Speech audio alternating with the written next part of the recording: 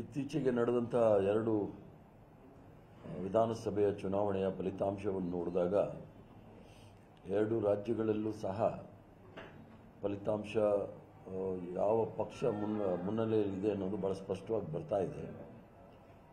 ಜಮ್ಮು ಕಾಶ್ಮೀರಲ್ಲಿ ಇರ್ತಕ್ಕಂಥ ಫಲಿತಾಂಶ ನೋಡಿದಾಗ ನಮ್ಮೆಲ್ರಿಗೂ ಸಹ ಅದರ ಬಗ್ಗೆ ಒಂದು ವಿಶ್ವಾಸ ಇತ್ತು. ನಾವು ಜಮ್ಮು ಕಾಶ್ಮೀರಲ್ಲಿ ನಾವು ಗೆಲ್ತಕ್ಕಂಥದ್ದು ಅಂಥೇಳಿ ಯಾಕಂದರೆ ಅಲ್ಲಿ ನ್ಯಾಷನಲ್ ಕಾನ್ಫರೆನ್ಸು ಕಾಂಗ್ರೆಸ್ ಪಕ್ಷದ ಅಲಯನ್ಸ್ ಒಳ್ಳೆ ಫಾರ್ಮಿಡಬಲ್ ಅಲಯನ್ಸ್ ಅದು ಅದ್ರ ಜೊತೆಗೆ ಕಮ್ಯುನಿಸ್ಟ್ ಅವರು ಸಹ ಇದ್ದರು ಆದ್ದರಿಂದ ಅಲ್ಲಿ ಈವನ್ ಜಮ್ಮುನಲ್ಲೂ ಸಹ ಯಾವ ರೀತಿಯಲ್ಲಿ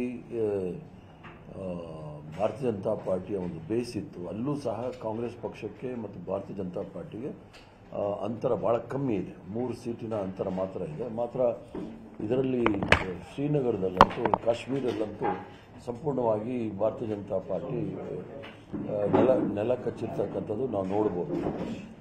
ಆದ್ದರಿಂದ ಸಂಪೂರ್ಣವಾಗಿ ಭಾರತೀಯ ಜನತಾ ಪಾರ್ಟಿಯನ್ನ ಜಮ್ಮು ಕಾಶ್ಮೀರಲ್ಲಿ ಜನ ತಿರಸ್ಕಾರ ಮಾಡಿರೋದು ಸ್ಪಷ್ಟವಾಗಿದೆ. ಹರಿಯಾಣದಲ್ಲಿ ಆಗಿರ್ತಕ್ಕಂಥ ಫಲಿತಾಂಶ ನೋಡಿದಾಗ ಅದೊಂಥರ ಆಶ್ಚರ್ಯಕರವಾದ ಫಲಿತಾಂಶ. ಯಾಕಂತ ಹೇಳಿದ್ರೆ, ಅಲ್ಲಿ ನನಗೆ, ನನ್ನ, ನಾನು ಅಲ್ಲಿ ಸುಮಾರು ಒಂದು ಮೂರುವರೆ ವರ್ಷಗಳ ಕಾಲ ಉಸ್ತುವಾರಿ ವಹಿಸಿದವನು. ಅಲ್ಲಿ ಧ್ರುವೀಕರಣ ಅಂತಕ್ಕಂಥದ್ದು ಬಹಳ ಪ್ರಬಲವಾಗಿ ಆಗಿರ್ತಕ್ಕಂಥದ್ದು. ಧ್ರುವೀಕರಣ ಅಂತ ಹೇಳಿದ್ರೆ, ಜಾಟ್ ಸಮಾಜ ಮತ್ತು ಜಾಟ್ ವಾಸಸ್ ಅದರ್ಸ್ ಅಂತೇಳಿ ಏನು ಇಂಗ್ಲೀಷಲ್ಲಿ ಹೇಳ್ತೀವಿ. ಅದು ಧ್ರುವೀಕರಣ ಆಗಿರ್ತಕ್ಕಂಥ ಭಾಳ ಸ್ಪಷ್ಟವಾಗಿ ಕಾಣ್ತಾ ಇದೆ. ಅದಲ್ಲದೆ, ಎಲ್ಲೋ ಒಂದು ಕಡೆ ಆಮ್ ಆದ್ಮಿ ಪಾರ್ಟಿಯವ್ರ ಜೊತೆನೂ ಸಹ ನಾವು ಅಲಯನ್ಸ್ ಮಾಡ್ಕೊಳ್ದಿರೋದು ಸಹ ಎಲ್ಲಾದರೂ ತೊಂದರೆ ಆಗಿರ್ಬೋದು ಅನ್ಸುತ್ತೆ. ಅದು ಸಂಪೂರ್ಣವಾಗಿ ಫಲಿತಾಂಶ ಬಂದಾಗ ಮಾತ್ರ ಗೊತ್ತಾಗುತ್ತೆ. ಆದರೂ ಸಹ ಅಂತರ ಭಾರತೀಯ ಜನತಾ ಪಾರ್ಟಿಗೂ ಮತ್ತು ಕಾಂಗ್ರೆಸ್ ಪಕ್ಷಕ್ಕೂ ಭಾಳ ಅಂತರ ಜಾಸ್ತಿ ಏನಿಲ್ಲ. ಒಂದು ಹತ್ತು ಸೀಟಲ್ಲಿ ಈಗಾಗಲೇ ಸುಮಾರು ಸಾವಿರ, ಸಾವಿರದ ಐನೂರ ಓಟ್ಗಳ ಅಂತರದಲ್ಲಿ ತೀವ್ರವಾದ ಹೋರಾಟ ನಡೀತಾ ಇದೆ. ಕೊನೆ ಕೊನೆಯದಾಗಿ ಫಲಿತಾಂಶ ಬಂದಾಗ ಗೊತ್ತಾಗುತ್ತೆ ಎಲ್ಲಿ ನಿಂತಿದ್ದೀವಿ ನಾವು ಅಂತ?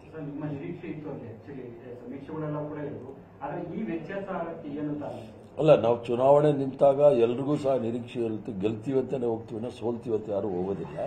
ಬಟ್ ಹರಿಯಾಣದಲ್ಲಿ ಏನಾಗಿತ್ತು ಅಂತ ಹೇಳಿದ್ರೆ ಅಲ್ಲಿ ನಾಯಕತ್ವ ಬಹಳ ಪ್ರಬಲವಾಗಿತ್ತು ಜಾಟ್ ನಾಯಕತ್ವ ಅಂತ ಹೇಳಿ ನಾವೆಲ್ಲ ನಂಬಿದ್ವಿ. ಆದರೆ ಅಲ್ಲಿ ಪೋಲ್ರೈಸ್ ಆಗಿರೋದು ಗೊತ್ತಾಗ ಯಾಕಂದ್ರೆ ಭಾರತೀಯ ಜನತಾ ಪಾರ್ಟಿಯವರು ಯಾವುದೇ ಜಾಟ್ ಸಮುದಾಯದವ್ರನ್ನ ಅಲ್ಲಿ ಅಧಿಕಾರವನ್ನು ಕೊಟ್ಟಿರಲಿಲ್ಲ. ಯಾಕಂದರೆ ಅಲ್ಲಿ ವೀರೇಂದ್ರ ಸಿಂಗ್ ಅಂತೇಳಿ ಕಾಂಗ್ರೆಸ್ಸಿಂದ ಹೋದವರು ಪುನಃ ವಾಪಸ್ ಬಂದರು ಬಿ ಜೆ ಪಿಯಿಂದ ಅಲ್ಲಿ ಕಟ್ಟರು ಮತ್ತು ಇರ್ತಕ್ಕಂಥ ಸೈನಿ ಇವರಿಬ್ಬರು ಸಹ ಕಟ್ಟರ್ ಅವರು ಪಂಜಾಬಿ ಸಮುದಾಯಕ್ಕೆ ಸೇರಿದವರು. ಇವರು ಸೈನಿ ಅನ್ನೋರು ವಿಶ್ವಕರ್ಮಕ್ಕೆ ಸೇರಿದವರು, ನಮ್ಮ ಮುಖ್ಯಮಂತ್ರಿಗಳು ಇರ್ತಕ್ಕಂಥವ್ರು. ಆದ್ದರಿಂದ ಭಾಳ ಪರ್ಮುಟೇಷನ್ ಕಾಂಬಿನೇಷನ್ ಏನು ಹೇಳ್ತೀವಿ. ಈ ಜಾತಿ ಸಮೀಕರಣವನ್ನು ಭಾಳ ಸ್ಪಷ್ಟ, ಬಹಳ ಸ್ಪಷ್ಟವಾಗಿ ಮಾಡಿರೋದ್ರಿಂದ ಅವರಿಗೆ ಎಲ್ಲೋ ಒಂದು ಕಡೆ ಎಡ್ಜ್ ಆಗಿದೆ ಎಡ್ಜ್ ಸಿಕ್ಕಿದೆ. ಅಲ್ಲ ಈಗೇನಾಗಿದೆ ಅಂದ್ರೆ ಆಂಟಿ ಇನ್ಕಂಬೆನ್ಸಿಗಿನ್ನ ಜಾಸ್ತಿ ಜಾತಿ ಸಮೀಕರಣಗಳಾದಾಗ, ಇವಾಗ ಬಿಹಾರಲ್ಲಿ ಮತ್ತು ಉತ್ತರ ಭಾರತದಲ್ಲಿ ಜಾತಿ ಸಮೀಕರಣಗಳು ಬಹಳ ಪ್ರಮುಖವಾಗಿರುತ್ತೆ. ಈ ನೀವು ಸರ್ಕಾರ ಯಾವ ರೀತಿ ನಡ್ಕೊಂಡು ಹೋಗಿದೆ, ಅದ್ರ ಬಗ್ಗೆ ಗಮನ ಕೊಡೋದೇ ಇಲ್ಲ. ಆ ಥರ ಆದರೆ ಕಾಂಗ್ರೆಸ್ ಪಕ್ಷನ ಯಾರು ಸೋಲಿಸ್ಲಿಕ್ಕೆ ಆಗೋದಿಲ್ಲ. ಸರ್ಕಾರ ಏನು ಕೆಲಸ ಮಾಡಿದೆ ಅದ್ರ ಬಗ್ಗೆ ಯೋಚನೆ ಮಾಡ್ತಾ ಇಲ್ಲ.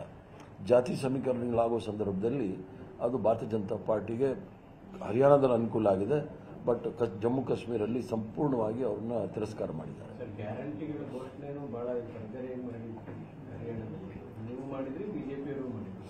ನಾನು ವೈಯಕ್ತಿಕವಾದ ನನ್ನ ಅಭಿಪ್ರಾಯ ಪಕ್ಷದ ಅಭಿಪ್ರಾಯ ಅಲ್ಲ.